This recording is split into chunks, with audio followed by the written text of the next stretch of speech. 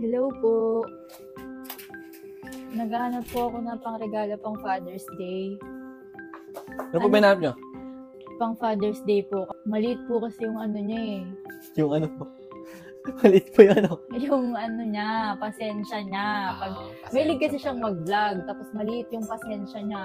Tapos, maugat po. Maugat. Yung ano po, yung noo niya, kasi laging pag nagbablog po, di ba, syempre hawak lagi yung camera. Nagkakaugat na yung noo niya, kasi laging nakaganon. Nakaganon po siya, lagi maugat na yung noo niya. Meron po ba kayong ano, vlogging camera na, ano, yung kahit di nahawakan? Tsaka maliit, kasi maliit po yung ano ni Papa. Pasensya niya po. Ito po, bagay ito sa papa nyo. Ano to? Malaki.